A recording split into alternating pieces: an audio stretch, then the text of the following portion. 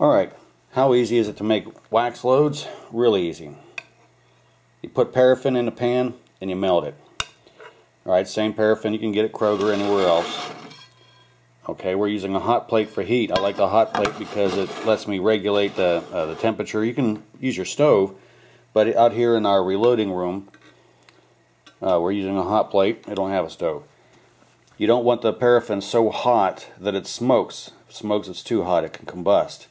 Uh, as soon as you get your paraffin welded, you're going to cut your shot shell open and pour your uh, pellets in and let them get get hot. Alright, getting the shot out of your shot shell. You're going to use a box cutter or something similar, maybe an X-Acto knife. Very carefully cut the top of the shell off.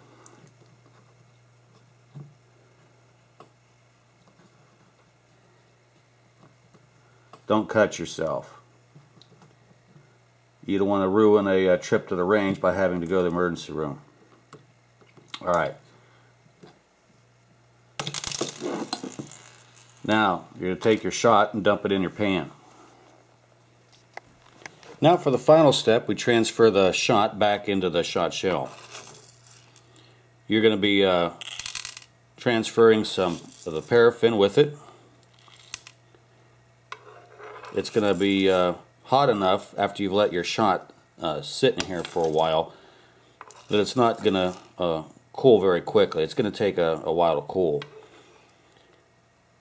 You want the paraffin fluid enough that when you put it in here it rises up like water you know you want it level it's forming a wax slug with the shot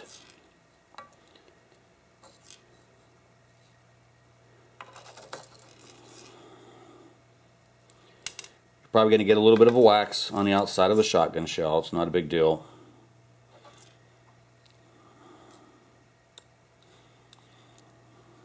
Alright, that's all there is to making the wax load.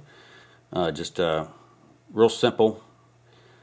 And it, and it keeps everything nice and compact. Keeps all your shot in a compact column so that when it hits the target it delivers all of the uh, uh energy in one spot. Alright, it doesn't spread it out. Delivers all the energy to the target. And uh, we'll see just how it works once we uh, try it out on the range on some milk jugs filled with water. Now we're going to try some of the wax loads we made in our uh, Remington TAC 14. We're at 20 yards. Uh, hopefully I'll be able to hit what I'm aiming at. It is an awfully short barrel to try to hit something at this distance.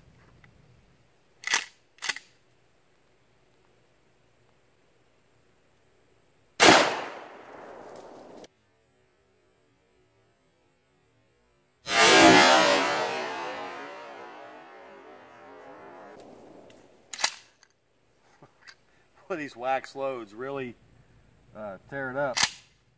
These water jugs are filled with water to give us a better visual. Let's go look at the water jug. I said water jugs filled with water. They're milk jugs. We can see it went in that side, came out the back, and the only reason I can tell it went in there is because of the it's blown out the back. But those wax loads in a pinch would be excellent self-defense, uh, home defense loads. You're definitely going to wreck whoever it hits. Alright guys, if you remember uh, a while ago I had a video where I made a homemade buckshot mold.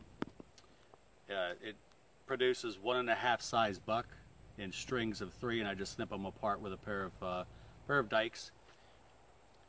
Well, this is uh, one of our loads. We're at 20 yards, so we're going to shoot our target with the TAC-14 just to see how well it groups at 20 yards. It's got, of course, you know the TAC-14's got a short barrel. It's a 14-inch barrel, and uh, we're going to see how it groups with this uh, homemade buckshot round.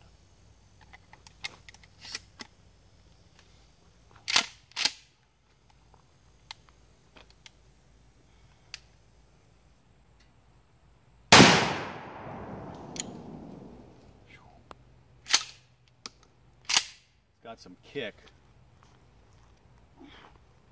All right, let's go take a look at it. All right, it looks like I shot high. Uh, there should have been 13 pellets in it. 1, 2, 3, 4, 5, 6, 7, 8, 9, 10, 11, maybe 12, 13 there. There's definitely two through one hole here. I was aiming for center, I shot high. That's not too bad of a pattern. Hopefully you're not shooting a TAC 14 at something farther uh, than that. But that uh, it's not bad grouping at 20 yards. Right, here's my TAC 14, guys. You might be wondering why I purchased it over the Shockwave. Well, I went up to uh, Cherokee Gun and Pawn here in Georgia, and my intention was to get a uh, uh, Shockwave 590, but they didn't have any in stock. They carry the Shockwave for uh, 349 when they do have it in stock, and they did have this uh, TAC 14 for 289 having looked at the differences, I've watched everybody's videos, I've looked at uh, Hickok 45's video, and between the two, I figured I'd just go with the uh, TAC 14 for 289. The pluses that I liked about the uh, uh, Shockwave can easily be, be made up uh, with some small additions and modifications to the TAC 14. One of the things I liked about the Shockwave was it held 5 plus 1 versus 4 plus 1. Uh, this is empty, by the way. Um, a plus one mag tube adapter can be purchased for the TAC 14 for around $50. Well, if you're purchasing it like I did for 289, uh, it puts you pretty close to uh, 349, which is what Cherokee had it for. Have the, uh, well, the Shockwave. Uh, typically, many other gun shops I've seen the Shockwave sells for uh, 399. So hopefully you'll be able to find a shop near you that carries it for a little bit less. Uh, if not, I don't think it would be a bad purchase uh, at that price either. And this also sells for a bit more as well. Now, the front loop on it, uh, on the Ford handguard here, my son put that on there. He does a lot of leather work. He's gotten quite good over the years. Um, he's taken some pointers from uh, uh, Curtis Gillick at Fat Boy Belts, two fulls leather. Uh, you probably saw a video I did on one of their belts. I do love their belt, by the way. I'm actually wearing it right now. Anyhow, um, TAC 14, he put this on here so that I could get a better grip. The first time we fired this, I wasn't, uh, didn't have this installed, and it was difficult sometimes for me to hold on to the front forearm. Number of years ago, you may or may not know, I injured my left hand at work. Had to get 40 stitches, and uh, it's been difficult for me to keep hand strength in it.